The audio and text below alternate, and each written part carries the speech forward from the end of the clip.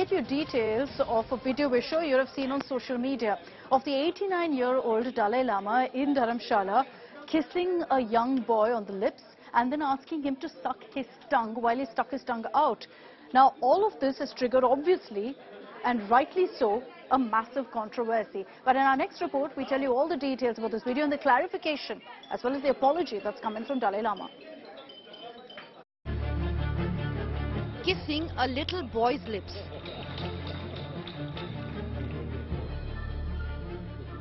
and suck my tongue.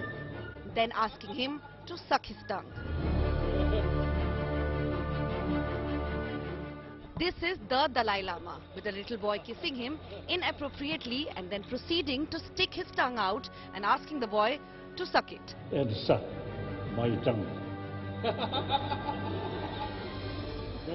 And rightly so, it has raised a whole lot of outrage on social media. This minor boy who has approached the Dalai Lama to seek his blessings in Dharamshala looks visibly uncomfortable when asked to suck Dalai Lama's tongue and then proceeds to place his forehead on the Buddhist monk. Amid all the backlash, the Dalai Lama issued an apology, calling the exchange with the boy innocent and playful.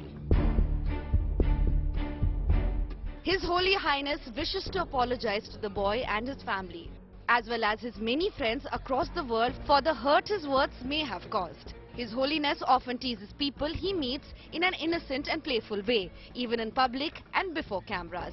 He regrets the incident. But the damage has been done. China has now got a handle to malign the Dalai Lama and thereby hit the entire Tibet campaign. It's a meaningful life, successful life. This, unfortunately, isn't the first time the Dalai Lama has found himself in such a controversy.